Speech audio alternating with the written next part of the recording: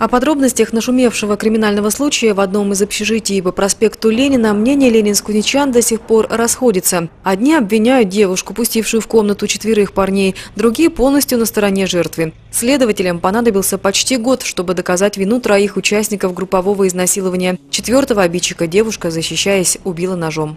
Расследование было очень сложное, потому что нужно было, во-первых, э, конкретизировать действия всех, во-вторых, все, э, ну, трое из оставшихся нападавших, они отказывались, э, то есть не признавали вину, не сотрудничали со следствием. Были сложности определенные в доказывании, которые были обусловлены еще и тем, что на фоне совершенных в отношении девушки преступлений у нее развилось психическое расстройство.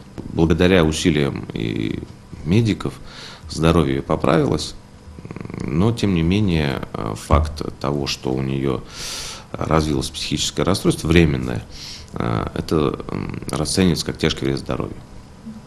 Вот. Был проведен большой комплекс экспертиз, в том числе и молекулярные генетические экспертизы.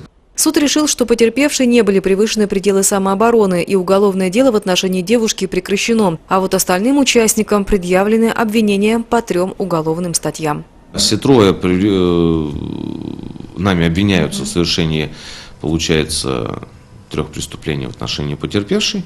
Это незаконное проникновение в жилище с применением насилия и э, изнасилование и насильственные действия сексуального характера. Совершенные молодыми людьми преступления относятся к категории особо тяжких. Плюс ко всему, один из них обвиняется еще и в грабеже прохожего, совершенном в тот роковой день. Сейчас обвиняемые ждут приговора суда. Только по одной из трех статей молодым людям грозит минимум от 4 до 10 лет лишения свободы.